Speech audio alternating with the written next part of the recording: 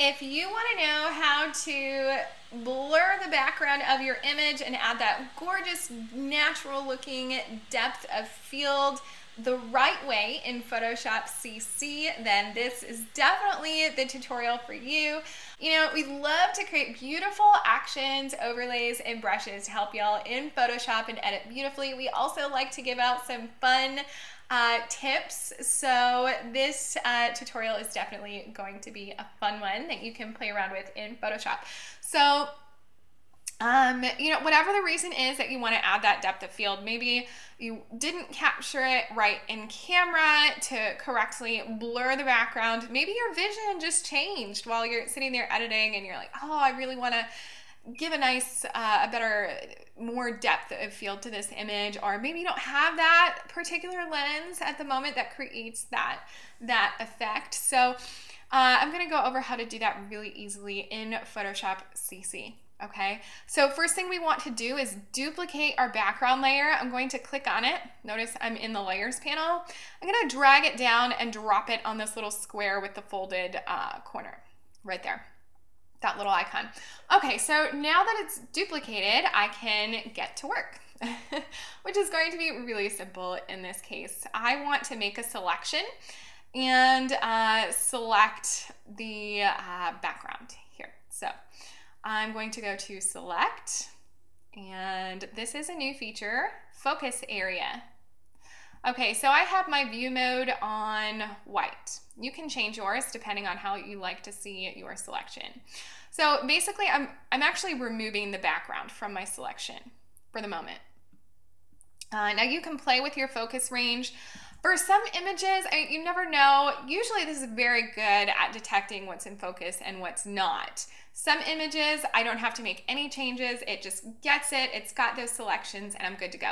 This one, it's not the case. So I, am kind of glad because I can show you how to correct the mask and just make it look perfect. So uh, I want to remove the background from my mask. So I'm gonna select this little uh, brush with the minus sign there. And I can make my brush larger and smaller by using the left and right bracket key. And I'm just gonna start um, painting this off.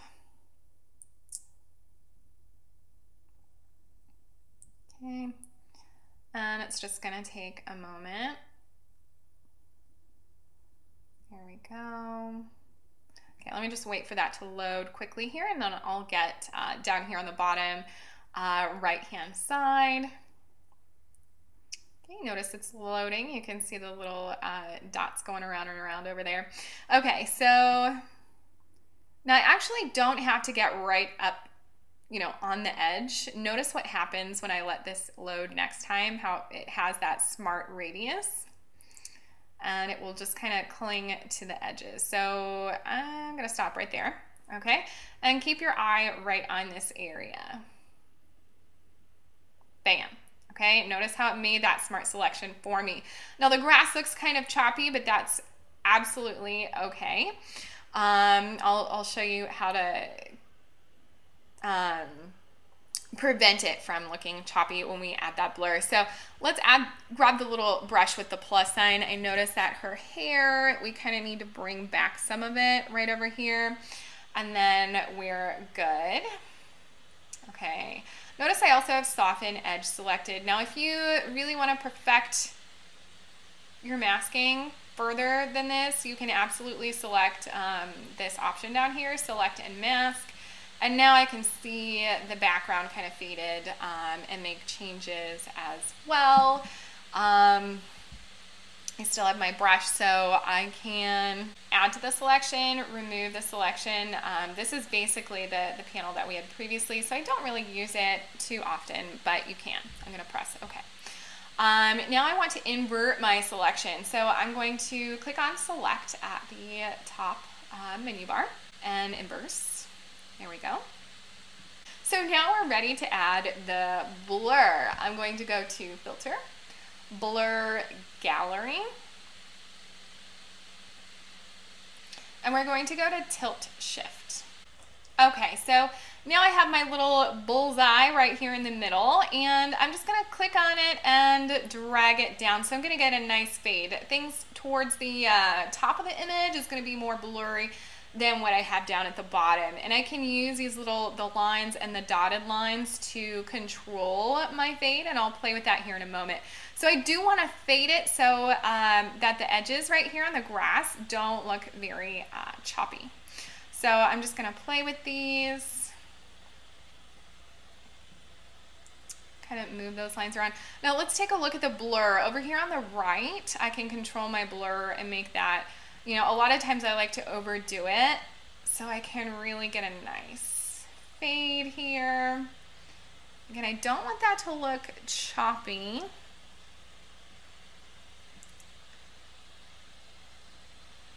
And then it'll help by removing some of the blur as well. Um, also, keep in mind that you want everything on the same focal plane as your subject to also be in uh, focus. So I wouldn't necessarily blur this grass that's right here uh, along the same focus plane. That's why we don't have that selected. Um, so again, I'm just gonna play, this is our original no blur, and I'm just gonna slowly keep adding some blur until I feel like it's working best with the image. And you can tell how it starts to look fake once you move it way up. So um, definitely keep that in mind when adding the blur to your image. And again, you can create that. Notice how it's fading as I move that up.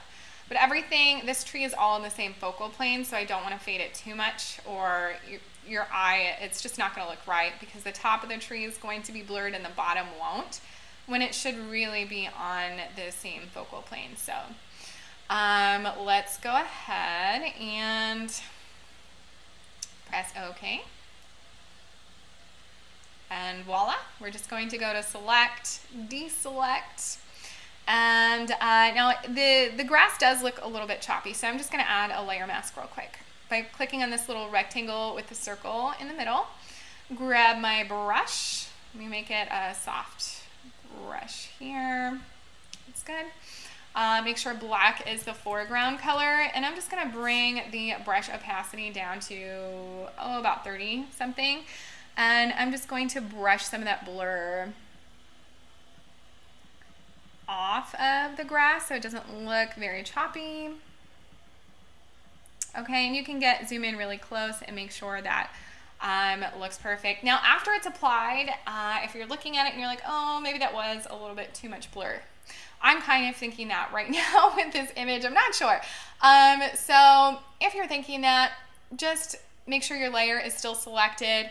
Click on the opacity here in the layers panel and you can still play with the blur. Sometimes it's better to overdo it and then adjust it later on. So that looks really nice. We were able to add a nice uh, bit of depth of field there. So you can play with that and um, really it only takes a few minutes in Photoshop and sometimes it can make or break your uh, vision for that edit. So I'm so glad that we were able to share that fun tip with you guys and continue having a blast when editing in Photoshop guys.